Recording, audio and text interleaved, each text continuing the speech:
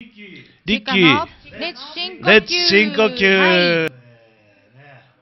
1月30日火曜日を回りました。早いね。ねもう1月終わりだよ。本当にもうびっくりする。ねうん。この間もうクリスマス、うん。新年明けましておめでとうって言ってたらもう1月終わりね。ねなんかなんかバレンタインの噂がちらほら来たね。来た。また来たね。そうね。季節になってきましたね。うんいやーでも何あの先週もねちょっと、えー放送の時に大寒波でね、はいはいはい。あれだったけどまだまだうん。ちょっとね続きそうなんで、そうですね。沖縄も寒い。うん、気をつけてねはい。欲しいと思いますけど、先週のねゲストさんはすごかったねやっぱりうねん。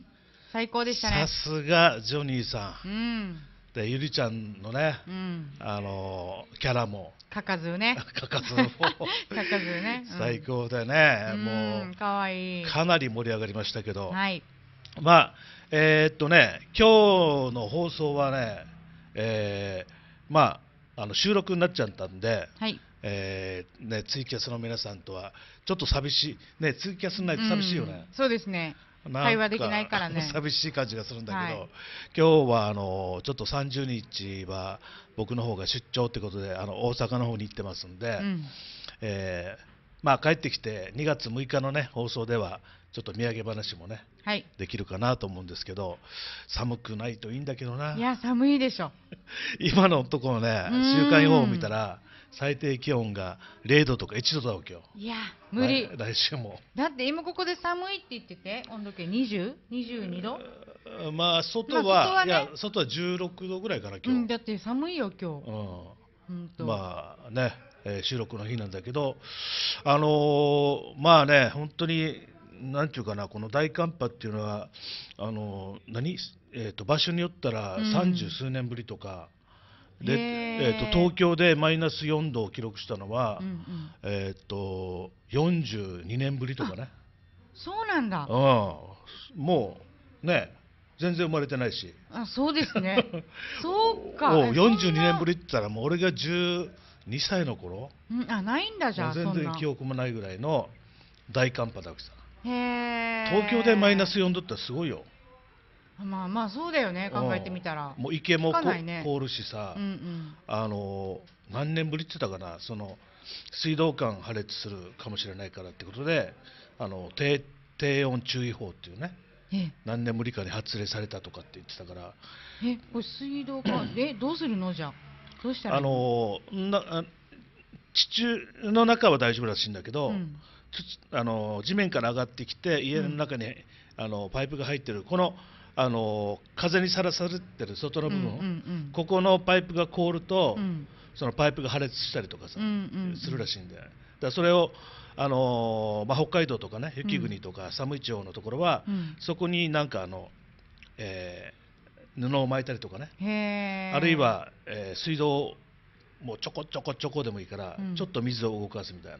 ことでお湯出すとか予防した、まあ、お湯出すのも一番いいかもしれないけど、外からパイプでねうんうんうん、パイプにお湯かけたりとかっていう、だから寒いところでは寒いところのね、あの大変さがあるんだよね。だってあの雪国とかすごいじゃん、うんうんもう積雪1メートル、2メートルってなって、うん。あの家に入るのに2階から入るって。ねこれね 本当ね想像できないね。ねえ南国の沖縄のうちなんちからしてみれば全然想像を絶する世界だと思うんだけど、うん。僕あの前あの東北とか北海道とかこう北の方に行った時にあれって思ったのがうん。あったわけよ、はい。あの今はあんまり少ないんだけど、うん。あの電話ボックスうんうんうんとかさうん。自販機がうん階段状になってて上にあるわけ。ああはあはあ。ら雪が降ってない時だから、うんうんうん。だから変だわけさ、うんうん。高い位置にあるから。うんうん。変だね。でうんなんでって言ったら普通に見雪が積もるから冬になったら雪高いところに。そう。やってないとだから自販機も買えないわけさ。うんうんうん考えてみたらそうじゃん、そうだね。うん、そんなところの工夫があちこちにあるわけさ、うーうんん。あの夏場だったらえっ、となんていうの？下水みたいなこの川溝溝がね、うんうんうん。見えるからわかるけど、うん。雪が積もったら見えなくなるから、うんうん。こっちからパッてね、落ちたりするじゃん。うんうんうん。でそのためにこうなんか棒みたいのが立てられるとかさ、ああ、ここから向こうは、うん。下水ですよみたいな。そうそうそう。うんうんいろんなあの寒いところなならではのね、うんうん。工夫があるみたいだけどね、へ沖縄の人がもうちょっと本当に想像つかないぐらいのーね、うん。あれらしいけど、本当にね、企業の人たちはまだ気をつけてね。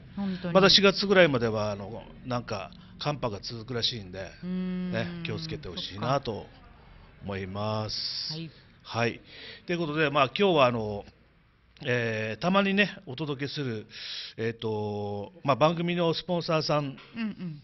デーということで、はい、紹介ね。えー普段、まあえースポンサーさんのあの、ねえーまあえー店舗名とか会社名しかご紹介できてないんですけど、うんうんちょっと掘り下げて、えーそのえー取り扱っている商品にまつわる話も含めながら、どういった今日はね、店なのかとかね。うん、お届けして、またちょっと告知事もあるんで、はいえーまたスポンサーさんからのね、あのありがたいなんかプレゼントもあイりますエーイ、いいんで、これね。最後にね、えーご案内しますんで、はい。お聞き逃しなく、はい。じゃあ今日も一日、えーお付き合い願いたいと思います。えー FM ギノワンレッツ深呼吸。この放送は、阿蘇山の天然水をご家庭までお届け、プレミアムウォーター、ブライダルリングのムクベル、トータルビューティーサロン、M グレイス、ベイサイドキッチン、オレンジブーム、癒しのオルゴール専門店、沖縄オルゴールドの提供でお送りいたします。はい、はい。ね、えーこんばんは、えー、レッツ深呼吸のね、今日はあのちょっと収録ってことで、うん。えーまあ、今現在の1月30日の現現在の天気はちょっと不明なんですけど、はい。あのーまあね、先週から冷えてるんで、多分寒いかなと思うんですけどね、うん。えー、と今日はあのスポンサーデーということで、えー日頃ねあのお世話になっているスポンサーさんのにまつわるちょっと話もしながら、えー話題にね、えーいろんな、まあ、まつわる話をねしていきたいと思うんですけど、はい。えーまああのープレミアムウォーターさんはね、えー前も話したんですけど、うんうんうんあの阿蘇山のうん天然水を、あの直接うん。組み上げて、えー真空パックにしてね、うん。えー家庭までお届けするっていう。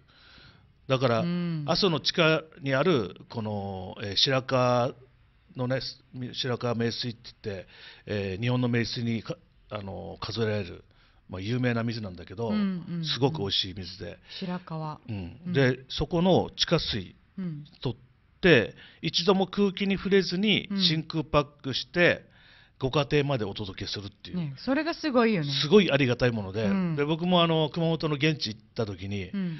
やこんなにねすごい水水がうん大変な思いで、うん。こうやって家庭まで届けられてんだなと思ったら、うん。ものすごいありがたいなっていう。うんん。今あのいろんなねやっぱり水が種類が多すぎるじゃんそうそうそう。で本当に多すぎる。消費者は何を選んでいいかわからないっていうね、うん、またえーただ単にもう売ってる水は上等ってしか思ってないはずだからね。でもあのいろんなね、まあ、水に関するこのあの権威のある学者さんとかいて、うんうん。えー日本一のね、うん。あのその水の研究者うん。っていうのはあのたまたまある縁があって僕あの知ってる人なんだけどちょっと待ってよ、日本一の？日本一。日本一の水水の研究研者研究者。へそう。あの白畑教授って言って、え、はいはい。九州大学のあの名誉教授なんだけど、まあ、ある、えー、がんがんのね、うん。がん治療の、えー研究の件で、うん。えーまあ、お会いして、うん、何度かあのお酒も一緒に飲んだりとかね、あのいろんなお話聞いたことあるんだけど、はいはい。もうあの学者の話ってもうすごいね。うん、あの まあ、皆さんはね、うん2次元とか3次元とかって話は、うん、ねうんよく聞いたりするじゃんうん、聞く聞くね、最近よく。白畑教授の話はね、うん、あの63次元とかさ、え、もうもうどこ行ってんの？もう宇宙、そうね、やばいよね。もう宇宙の話でさ、あのだから水には性格があるとかさ、ああ、性格？もううん、性格があるとか、うんうんあのもうとにかくもうそういうあの次元の方なわけ。水も全部違うとかね。うんうんで水はやっぱりこのなんていうの？その環境に左右されたりといろいろな話をするわけ、環境に左右される、うん。でそれ聞くとねうん。やっぱり人間の体って水でできてるさ、うんうん60まあ大人になると、えー、大体65%ぐらいかな、うんうんまあ、赤ちゃんとかだったら 70%75% が水分なんだけど、うんうんあのーこの地に生まれてで、まあ、植物とかに、あのーなんていうの植物と思ったらさ、うん。うんやっぱり日本で生まれて日本で育ってて、うんうん。でその60数パーセントが水分じゃん。うんうん。要はあの生まれ自分の体の水分は生まれ故郷は日本だわけさ、うんうんうんねうんうん。だから日本人にはこの日本の水が合ってるわけ、ああそういうことね。うん、そういうふうに言ってた。ああのそんなふうに考えると面白いね。だからヨーロッパでも、うんうん。あの有名なあのなんとかね水ってあのエビアンとかなんとかっていろいろあるけど、うんうん。うんあのそれも飲んで美味しいかもしれないけど、うんうん。実際日本人の、ね、体には、うんうん。やっぱりに日本のこの天然水が一番合ってる。一番健康にいいと、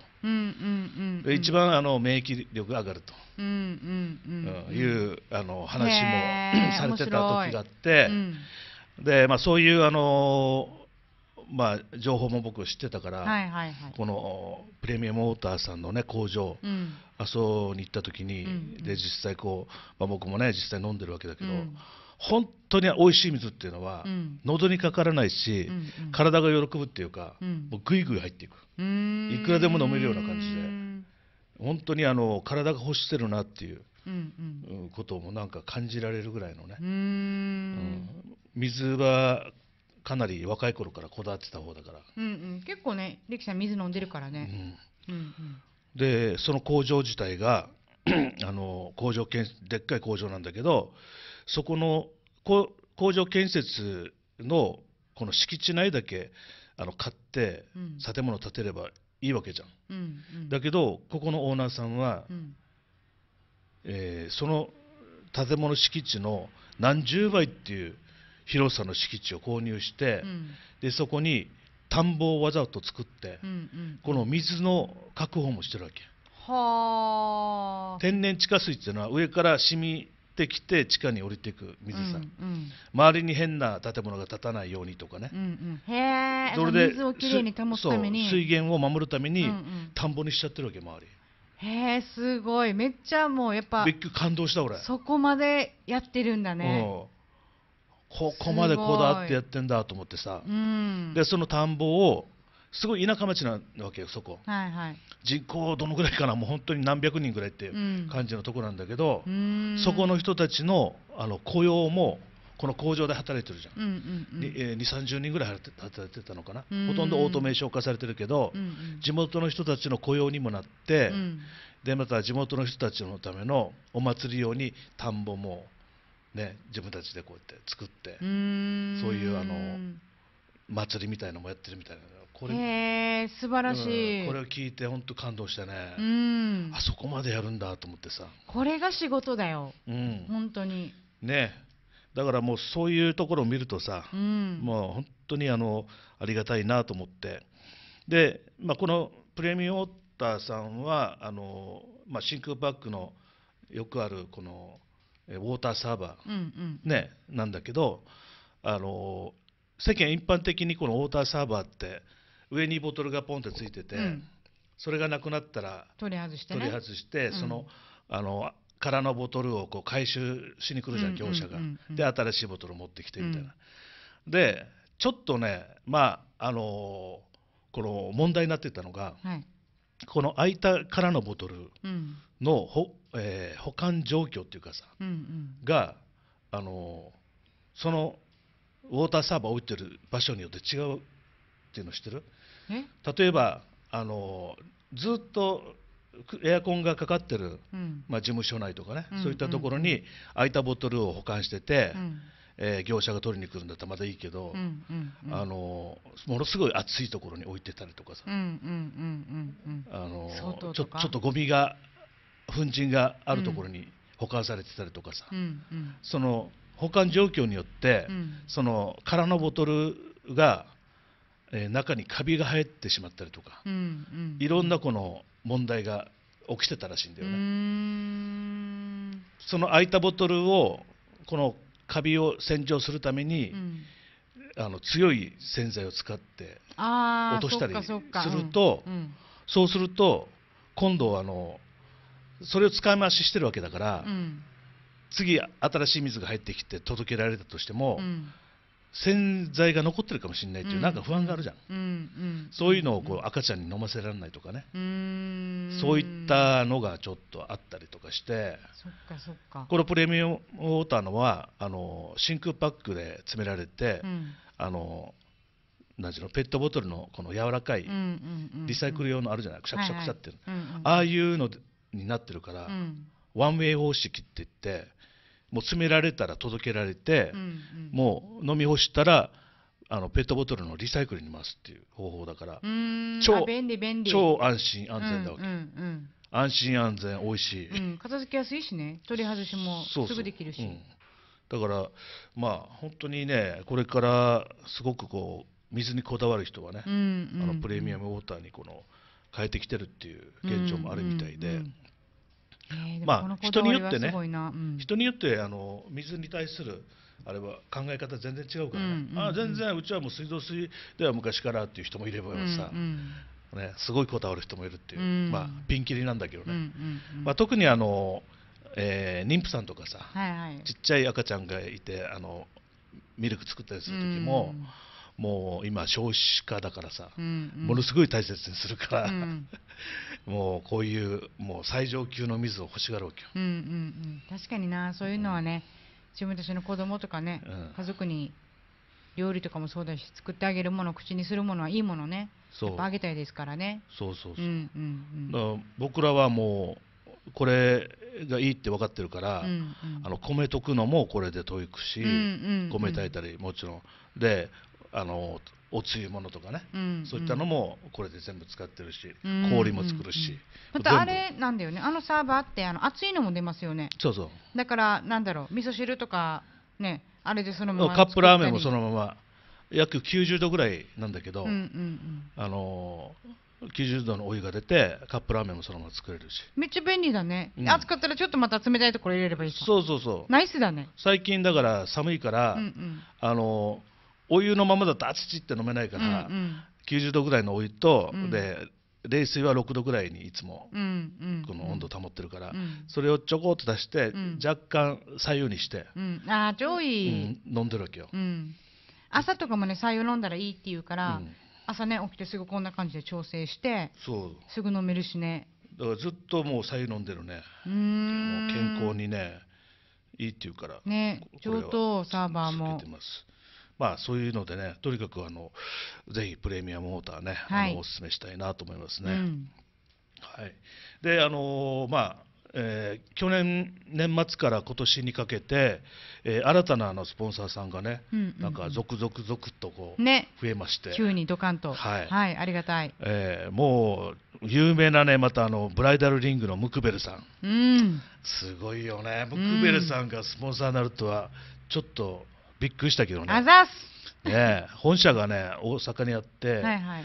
えーもうあのジュエリーっていうよりもブライダルリング専門店うんうんで、あのうん宣伝でもやってますもんね。そうテレビコマーシャルもねうん。かなり、あのいいコマーシャル出してるし、はい。あのなんちゅうかなロケーションがいいすごいあの素敵な場所にね、うんお店を構えてて、うんうんうん。ああれ観光客とか来てもちょっとねあのインスタ映えするような、うん。そういう場所だわけよ。うーん。うん。美浜？茶あ炭のそう茶炭の、えー沖沖縄茶炭ヒルトンリゾートホテルの裏の方っていうか、うんうん。えー本当にマリーナベイ沿いっていうかね、うんはいはいはい、うん。あそこに白いチャペルがガラス張りのチャペルが建ってるんだけど、はいはいはい。それの隣にあるんだよね。隣の2階なんだけど、ムクベルさん行ったらもう本当にあの高級そうなあのね、えー指輪から、うん。もう本当にねいやでもねやっぱり結婚指輪とか、うんうん。婚約指輪だから、うん。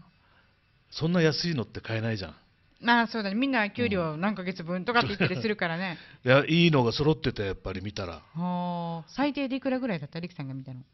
いやいや最全部は見てないけど最うんうん。たくさんあるから、うんうん。見たのでどれぐらいした？どのぐらいだろう？やっぱりどの3万5万ぐらいからあるんじゃないの、うーん。まあ、上はキリがないと思うけどダイヤとかね、うんうんねムクベルさんねあのー本当になんていうかなあのー外国の方もねうん。うんあの日本のメーカーで、うん。でこういったジュエリー屋さんっていうのは信頼が高いから、うんうん。やっぱ本物を求めてきてるわけよ、うんうんうん。あの日本ってあまりこのバッタモンっていうか、うんうん。ないさ。うん。あのあれコピー製品っていうのはな別の言い方だったよね。パチモンだった。パチモン。パチモン。パチモン。パチモンってこれ何語なんや？俺最近最近知ったんだけど。パチパチモンパチモンっていうかなんなんですかパチモンって言ったら。いやあのコピー製品のことパチモンって言うんだよって。ええって。なんだろうパクってるみたいな感じから来たんじゃないのかな。違うかな？ね。そんな感じか。そうそうそう。そうそう。パクリモンみたいなもんからもパチモンみたいな。そう。で日本はやっぱりパチモンっていうのをやっあのなんていうのえー、とメーカーの信頼をねやっぱり損ねるから、こういうの売らないじゃない、うん。作らないし売らないし、だからあの信頼性が高いってことで、はいはい。海外インバウンドの方もあのムクベルさんでね。うん。あのね求めたりするらしいんだけんど、うん。いいの揃ってるんで、うんうん。ぜひねあのご結婚お考えの方ね。即ムクベルへ。ね。はい。ムクベルさんへ。本当にあの事細かなね、あの丁寧な接客アフターまでやってるんで。はいはいあのリング専門店っていうのがいいよね。ね。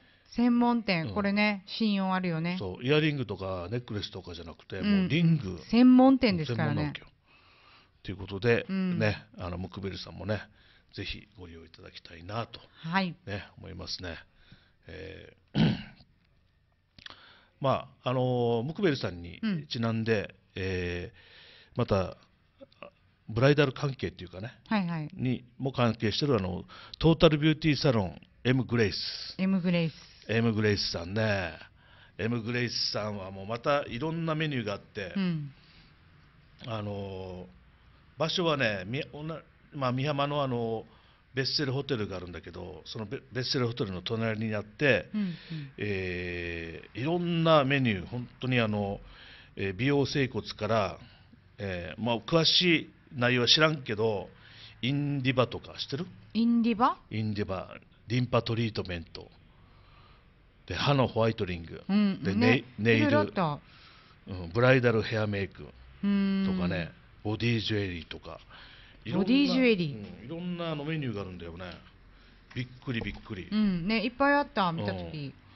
そのあの M グレイスさんからね、えーまあ、番組の後半に素敵なプレゼントがありますんで、ねはい、お楽しごみに。期待ください。ねえこれもう本当にあの、なんていうかな、今、男性のお客さんもね、うんうんうん。結構いらっしゃるみたいで、ね多いらしいですね、うんこういうところ今男性がね通うのも。M グレイスさんはまたあのカップルでもね、よく来られるらしい。すごいですね。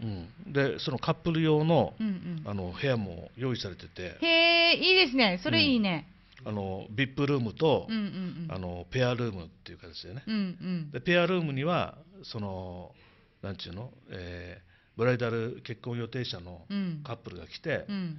一緒にこのカップルルームでねうん。なんかイチャイチャじゃないけど、うん。ちょっと待って、なんかおかしくない、リキさんのあ言い方。なんかおかしい方向に行ったら、うん。違う違うあのカップルでねここはあるよね、ちゃんとした。ちゃちゃんとしたとこよ。ちゃんとしたところよね。トータルビューティーサロンだからね、あの別に変なとこじゃないけど、うんうんあーでもそれいいですね。うん、いいよね、うん。こういうとこ行ってみたいな、畜生。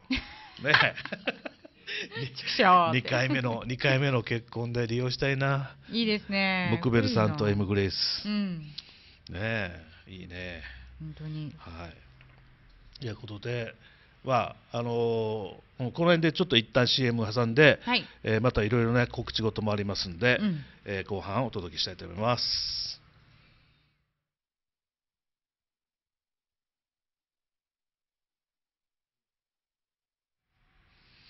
はい、ってことで、はい。えーレッツ深呼吸ね、今夜のレッツ深呼吸は、あのスポンサーさんデーということで、はい。えーね、日頃お世話になっているスポンサーさんのところを、ちょっとあの掘り下げて詳しい内容をね、うん。あのご紹介してるんですけど、うん。えーまあ、プレミアムウォーターさんとムクベルさんと、えーエムグレースさんは、ね、ご紹介しましたんで、えー今度はあの飲み屋さん、はいね、ベイサイドキッチンオレンジブームさん。うーん。これねもう実は僕ね、はい。ここの常連さんで、ねリキさん結構行ってるうん感じですようんね何回も行ってて、うんうん。でそこで、あのーもうオーナーさんともあの店員さんともね仲良くなって、うんでそれで、あのー話してたらうん。うんあの快く引き受けてくれて、えーだって僕はあのーオレンジブームさんがスポンサーになってなくても、はいはい。ものすごい俺紹介してたからいろんな人。ですよね。うん。わかる。フェイスブックにもよく載っけてたし。あの生ハムとか。もういい店あるよってことで、うんうんうん。紹介してたからさ、うんうん。どうせ紹介してんだからスポンサーになってよってさ。またサクッと軽くいっちゃった。いやいやそそうでしょう、うん。結構も、まあね。儲からして儲からしてあげてるからさ、うんうんお客さんにね紹介してるんで、うんうんうん。だから、まあスポンサーさんになってよかったなと。はい。はい。あのーなんていうの？お互い様みたいな、はい。ギブアンドテイクでね。ウィンウィンではい。やってる。このあのベイサイドキッチンオレンジブームさんなんですけど、うんうん。まああのー先ほどお話ししたあのムックベルさんはい。のね、あのほんたまたま隣あ隣になるんだ、うん。隣の1階にあってあのーチャ沖縄チャタンヒルトンリゾートはいはい。の裏側でね、えーチャタンのマリーナ沿いっていうか、うんちょっとおしゃれな、ねうんうん。エリアにあるんですけど、うん。あのあの辺ご存知の方はあのライズアップがあるビルがあって、はいはいはい。そのライズアップのビルの隣の隣のビルなんですけどね、うん。もう海沿いに面してて、うん。本当に夏場はあの東シナ海の夕日が綺麗にう見える、ん。あの外のテラス席もあったりとかして、はいはい。おしゃれな店なんだけど、うん。えーまあおしゃれだけじゃなくてもう料理がうまい。わかる。オレンジブームさんも最高、うん。一度あの場所移動する前にうん。あの何回か行ったことがあってはいはいバーなんだけど料理豊富だし、うん。しかも美味しいんですよ、うん。普通はねなんかバーとかってちょっと軽いものとか、まあ味もそんなに、ね、食べれればいいぐらいの勢いのところが多いけどここはねなんか本格的だなと思って肉料理もうまいし、ね、そうそうそうそう。結構ねかっつりいける。もうご飯を食べにっていう感じでバーに行くみたいな。っうん、ていう感覚でも全然いいなっていうところでしたねここは。とっても美味しい。あのー肉料理チーズ料理もねうんチーズの、あれなんていうのかなあの半月の丸いあーはいはいはいはいゴルゴンゾーラみたいな。を熱で溶かしてバーッと流し込むような、ちゃんとね本格的になんかやってますよね向こうね、うん、あれもうまいしうん。ね、ピザも美味しかった。うんそうそうそう。結構何でもいけるよねあっちうのね、ん。で僕がねあのーまあ一か最初行ってあこの店間違いなないなと思ったのが、うんうん普段あの枝豆夏場ね、はい。ビールに合う枝豆頼むじゃん。うん。枝豆注文したら、うん。あの枝豆のあのペペロンチーノ。あーうまい。これうまい。は初めて食べたわけさそこで、へえうん。あこんなのがあるんだと思って、うんうんうんうん。で枝豆ってあの皮ごとこうねちょっとね。口に頬張って、うん。この中の豆をパッて取るじゃん、うんうんもうその皮全体がもうペペロンチーノの味になってるから、うんうんこれがもうめちゃくちゃうまくてさ、うんわかる。美味しいよね。うんあれでちょっと感動して、うん。ビールに合うし。うんうん。だから枝豆たかが枝豆じゃなくて、うん。枝豆すらああやってあのこだわってね。工夫してねうん。おしゃれに。料理すること自体が、うん。あ間違いないなと思ってさ、もうそれからもういろんなメニュー頼んでみたらやっぱり全部うまいし。う、ん。で何？飲み放題プランとかさ。ね。これ。ほんとお得ですよねあっちねいやただのね、うん。ただの飲み放題プランじゃないんだよ。と言いますと？あのーそこの飲み放題プランは、うん。あのーまあ、例えばカクテル注文するじゃない。うん。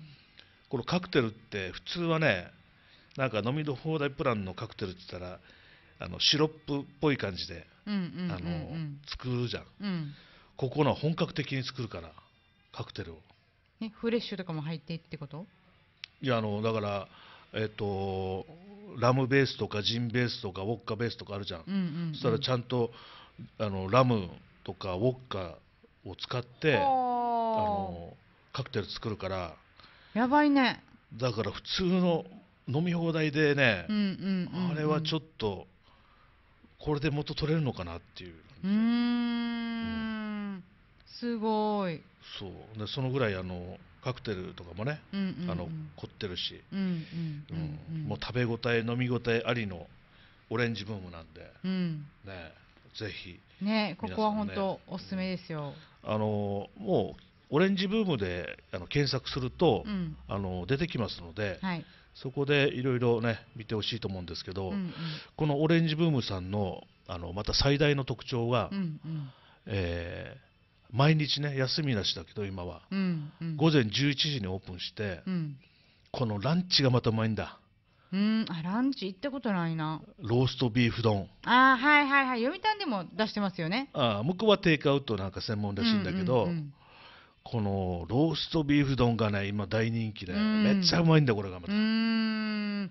いいな食べたい。でランチでこうやってランチでも美味しいの出してるじゃん。はいで普通ランチタイムがある店って言ったら一旦3時頃とか閉店して、うん。また夕方の5時、うんうんうんうん。6時からオープンですよみたいな感じだけど、うん。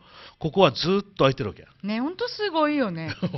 大丈夫かな？11時オープンから、うん。えーっと25時までから25時まで夜中の1時ぐらいまでから、ずっと開いてるからさ、本当にすごい。うん、ここがねもうね料理はうまいでしょ。ランチもやってるでしょ。うん。飲み放題も本格的なカクテルでしょ、うんうん酒も美味しいしもうね至れり尽くせりだうん、ほんね、とねうん。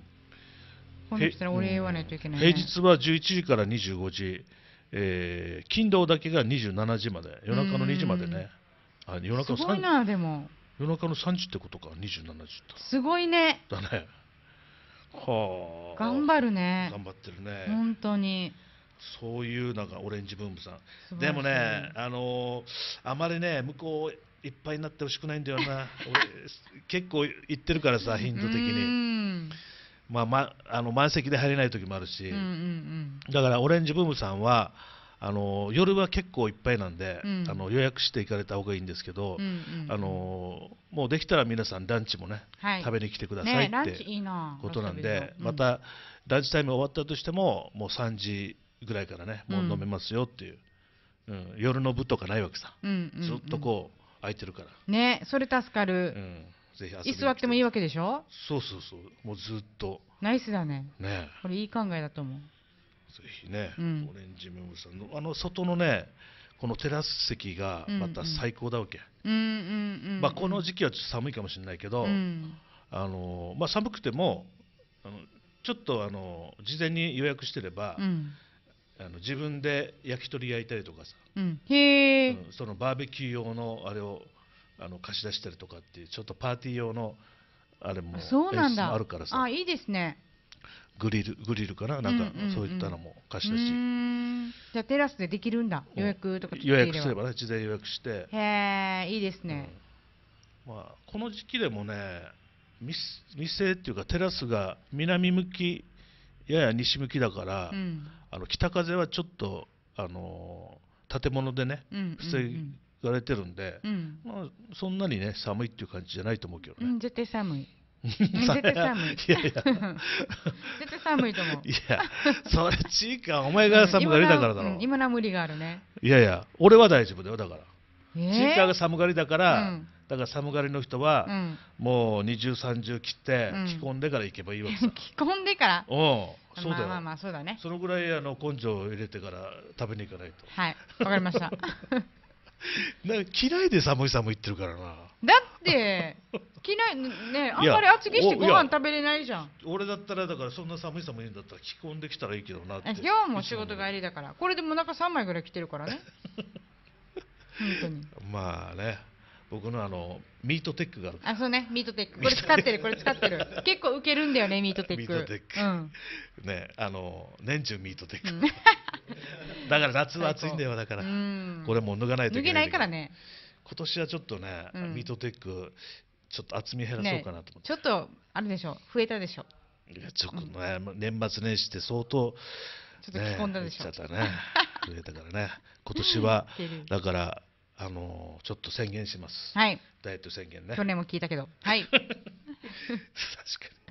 に。はい、ということで、はい。えーっとね、オレンジブームさん、あとは、あの、この、えーこちらもね、えーっと、県外に、えーまた本社を構えてるんですけど、うんうん。なんと、北海道の小樽にうん。本社があります、へえ小樽。うん、オルゴールド、オルドオルゴールドさん、オルゴールド。うん、沖縄オルゴールドさんって言って、はいはい。えーこれも美浜に店舗できたんですけど、えー去年かな？去はい。年オープンして、すっごいんだよもう。メルヘンの世界、へえあオルゴールか。うん、いろんな種類のもうちっちゃいのから大きいのまでさ、で音色も様々で、いうん。や本当今日なんかあのー1個は俺ね買って持っときたいなと思ってたから、うんうんうん。このねあの番組中にちょっと聞かしたいなっていうのあれやったら、ほー。まあ、今度はあのまた機会があればはい。僕はあの購入したいのがあるんで、うんうんうんうん買ってきて、うん。ここであの聞かせますんでね。はい。いいですね。あのまあ列深呼吸もやっぱり癒しのためにこのロングブレスってやるじゃない深呼吸、うんうんうんまああのストレス社会だからさ、うん。うんそういう深呼吸もしながら、うん。またさらに音楽とかね、うんこういったオルゴールで癒されるっていうのは、うんうん絶対必要だと思うんだよね、うーん確かにオルゴール癒されるよねあのいいよ音。ね聞いちゃうからな。んだろうねあのオルゴうんールの音色ね、うんこれをその専門店ってこと？専門店。あこれ開発した人すごいよね、あオルゴールをうん。うん。相当昔からあるみたいよ、うんうんうんうん。あのレコード版みたいになってるオルゴールとかさ、へえすごいクラシックな感じとかもたくさんなんか種類があったりして、うんうん。歴史も古いみたいで。なんか高級っていうイメージはあるけどね、うん。オルゴールって。まあいわば仕組みはね簡単なんだけどね、あのななんか回る、ね、円円柱の中に凹凸があって、その凹凸で音をねうんその針金みたいのをピンピンって弾いていって、あの音色を出すっていう、うん。単純なものなんだけど、まあ、だからこそあの歴史も古いと思うんだけどね、うん電子的なもんじゃないから、割とアナログ的なもんだからさ、うん。まあ、だけどそこにやっぱりねあの癒されるこのうん。オルゴールに合った音色があるんだろうね、うんうんうん。優しいですからね、うん。なんか音色。やっぱりこのロックとかパンクとか合わないじゃん、うん。オルゴールね 確かに。オルゴール回しながかくなっちゃうからね。激しい動きとかさ。やっぱりねこのなんかあのなんちゅうの？子守歌っぽいのとかさ、うんそういう癒し系だよね、うん。うん。その辺でだからちょっとこう何がいいかなっていうのをこの選びに行きたいんだよあチョイスして。うん。うんうんうん。ゆっくりじっくり時間かけて、うんうん。結構広いんですか？この三う浜のんあの店内広くて。へえじゃあ結構種類は豊富にあるんだ。いっぱいあるね。だからオルゴール専門店ってだから沖縄で初初じゃないかな、ね聞いたことないもうんん、でしかも北海道の小樽に本社があってさ。ね。すごいな。ねあ見に行ってみよちょうどえ2月のに22日から北海道行くんだけどうはいはいはい。小樽も行こうかって話になってるから、うんうんうんうん。あれ？もしかしたらちょっと寄ってみようかなとおいいですね。ねまあ、まだあの決定じゃないんだけどね、はいはいはいうん、ちょっとやっぱり場所的にもね気になるなっていうところなんだけど、うーん行ってみよう美浜。ね、うん。ぜひあのオルゴールドさんねあれあの場所は、えーなんて言ったかな、まああのえー先ほど、えー M, M グレイスさんのそのベッセルホテル、うんうん。ベッセルホテルが目印なのかな？ベッセルホテルの隣が M グレイスさんがあって、うん。でそれの隣の建物のあの1階の1階にあるんだけどね、うん。ん。まあ、若干迷路っぽくはなってるけど、もう店が広いからあの、うんうんうん。うんわかると思うんだけど、はい。外はもうガラス張りになってるからオルゴールドって書いてあるし。いいですね。癒されに行きますじゃあ。うんいいよね、うん。素晴らしいだから今年はね、あのスポンサーさんがついてるんで。ねありがとうございます。ねぜひあの今年1年ねよろしくお願いしたいはないと思います。で、えっ、とね、えー告知の方も、えーえー一件ありまして、えー、めぐみの誓いって言いまして、拉致問題啓発、えー舞台劇公演ということで、入場無料、えー2月10日土曜日の、えー12時半会場、13時半開演で、えー2月10日、宜野湾市民会館大ホールであります。入場無料です。うん。えーただしね、あこれ放送の日が30日だったね。う、ん。ごめんなさい、申し込み期限が1月26日、あい。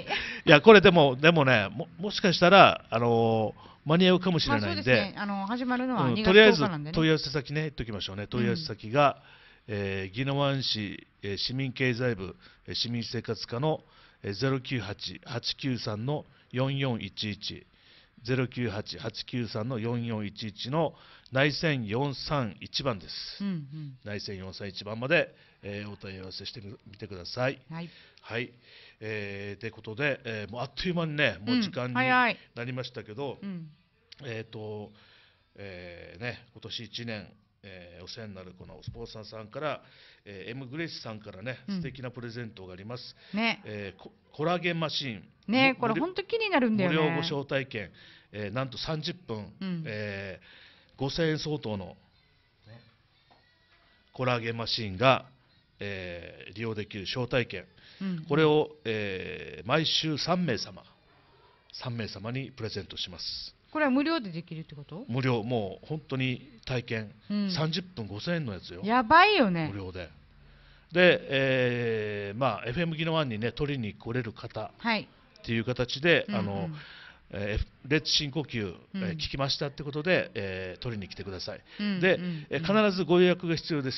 これいただいた方は、えーレッツ深呼吸、FM ギノワンレッツ深呼吸で、えーいただきました、あのー招待券ですってことで、必ず予約されてから行かれてください。うん。